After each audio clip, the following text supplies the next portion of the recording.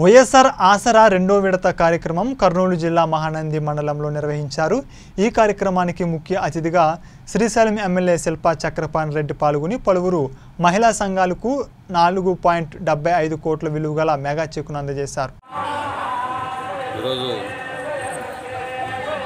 వైఎస్ఆర్ ఆసరా కార్యక్రమం విడత పంపిణీ కార్యక్రమం పూర్తి స్థాయిలో ఒక పండుగలాగా జరుపుకోవడం జరిగింది. భారతదేశంలో ఏ ముఖ్యమంత్రి చేయని విధంగా మన ప్రీతం ముఖ్యమంత్రి జగన్మోహన్ రెడ్డి గారు చెప్పినటువంటి మాటను నిలబెట్టుకోవడమే కాకుండా చెప్పనటువంటి వాటిని కూడా ఈరోజు అమలు చేస్తున్నటువంటి ఏకైక ముఖ్యమంత్రి జగన్.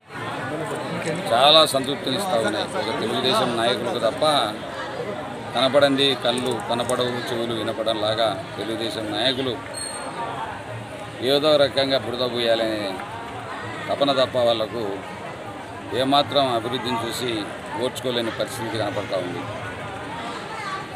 ఈరోజు జగనన్న చేస్తున్నటువంటి కార్యక్రమం అభివృద్ధి లేదు సంక్షేమాలే ఉన్నాయని చెప్పి ఒక చంద్రబాబు నాయుడు గారు అవాకులు చవాకులు పెరగడం జరుగుతూ ఉంది.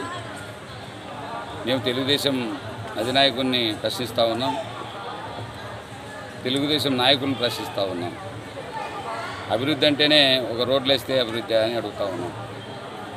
గ్రామంలో ఈరోజు గాంధీజీ కలలు కన్నటువంటి గ్రామ స్వరాజ్యం ఈరోజు పూర్తి స్థాయిలో అమలవుతూ ఉందంటే ఈరోజు జగన్మోహన్ రెడ్డి గారితో సాధ్యం అనేది ప్రతి ఒక్కరికి తెలిసిన విషయమే.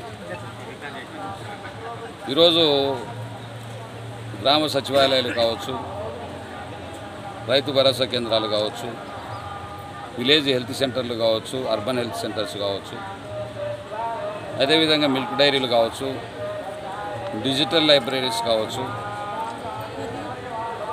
ఇంకా రైతుకు సంబంధించినటువంటి రైతు గోడౌన్లు కావచ్చు.